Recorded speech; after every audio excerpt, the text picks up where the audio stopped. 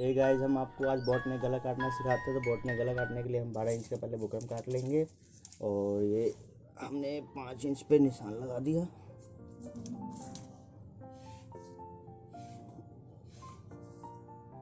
दिया